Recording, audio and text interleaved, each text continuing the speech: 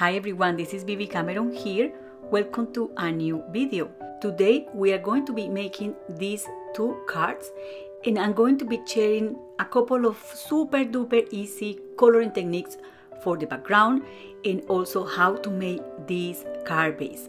In a previous video, I show you how easy it is to make this using hard dies and you can use dies in different sizes. To give you more ideas, I also made this super cute card that also includes a pop-up inside and it was made using a circular die. I have a tutorial on my blog, it's just with pictures to show you how to do that. But it's pretty much the same than doing any of these cards using different dies. The difference here and the reason because I decided to make this video is because this is a large format card. It measures 5 inches by 7 inches and is going to allow you to create side folding cards and top folding cards. This will be the same with the square dies. When using oval, circle or hard dies, you can only create top folding cards. And that's just one of the simple things that you need to be in mind when designing your cards. The second thing you need to be in mind is that you need paper coordination depending the card you're creating. So I'm going to use an A4 sheet of cardstock to create my own 5 by 7 inches card base. And I'm going to use the same paper for the inside of the card. So I'm just scoring this in half and I'm going to apply a partial die cutting technique using this rectangular die here to die cut the inserts that are going to go inside the card. I can get two of these from that piece of cardstock and I have to make sure that the blade of the die is not touching the top folding of that card but it's very close so when I run this through the die cutting machine that blade is not going to cut the top folding and I'm going to get a mini card base like this.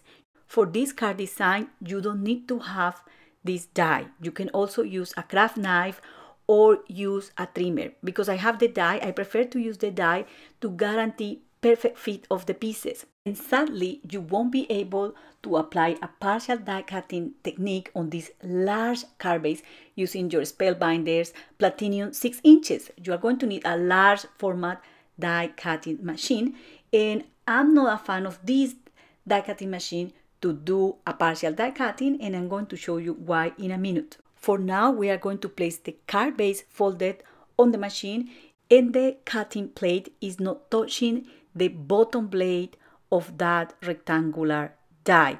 So it won't cut the bottom of the card base.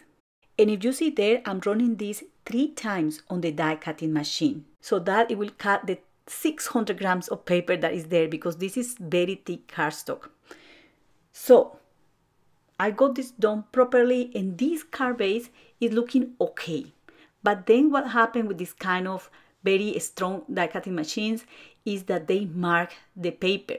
If you run this just once to avoid marking the paper, then probably the second layer of your card base is not going to cut. And you might need to use a craft knife to finish the cutting. The plate of this machine marks the paper and this is not nice. I don't like this, and this might happen to you, and you will hate this. And if you are like me, it marks the paper in the back as well. So you can see all the little marks and indentations of the papers. I don't like them at all. So I fight them and I use an eraser and also the bone folder to try to smooth them out. And that helped a little bit. But then I put the card base inside out and that solves the problem because in that way all those marks are going to be inside uh, this area here that I'm going to cover with the inner panel that I'm just gluing there.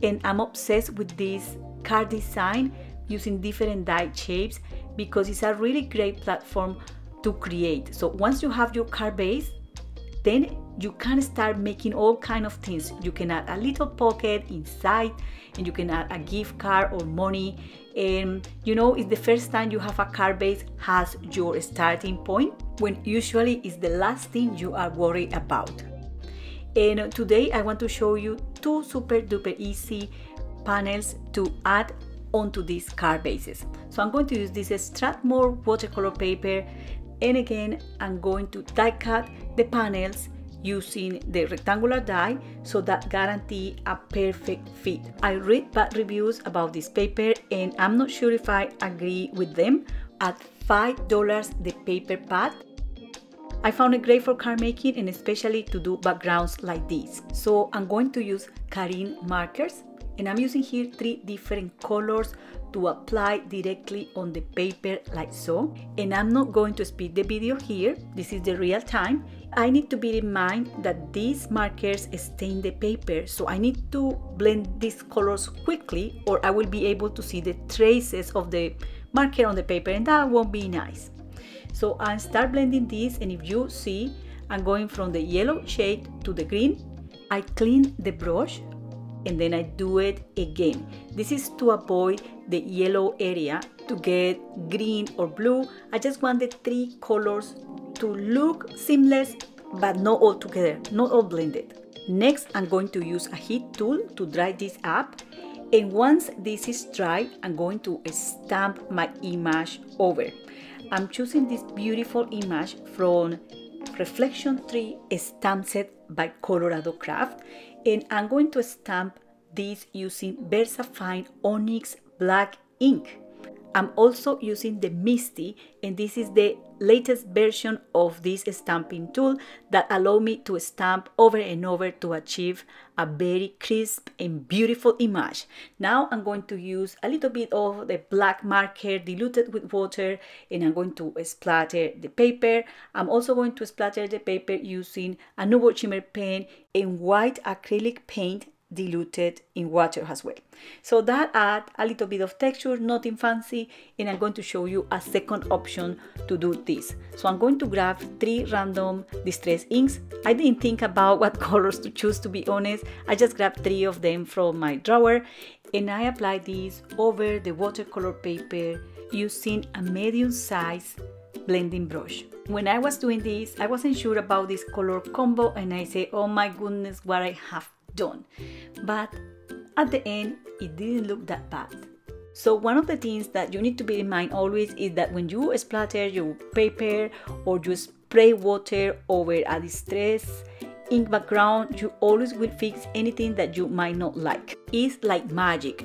You can just stamp over that panel and it will guarantee a nice composition. It doesn't really matter what you do there. You just need to splatter this a little bit, allow the inks to dry, and I also decided to add a little bit of that blue ink from the Karin marker, mix it with water uh, over the tree and also over the gear dress.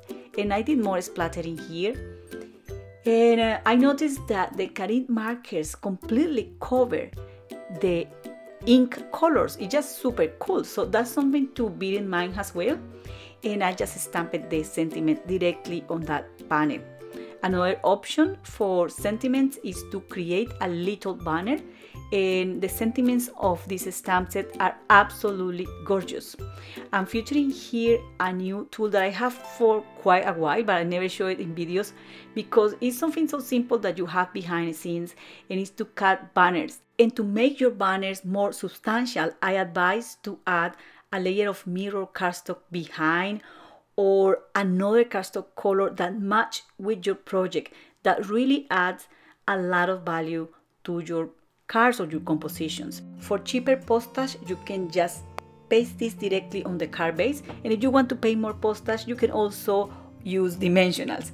Last December, I paid a fortune in Christmas card postage because all of them have dimension and it was very little dimension. So it's something I have been bearing in mind for this year to try to create more flat cards for you so that we can actually send them without having to do a big financial effort. This has been challenging times for everyone.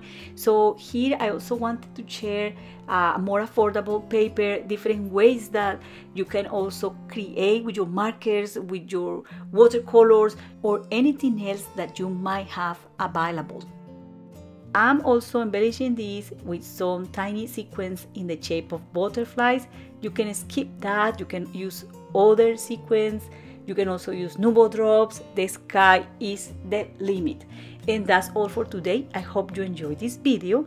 Do not forget to subscribe to this channel or visit my blog for more ideas and inspiration. Thank you very much for watching and happy crafting. Bye!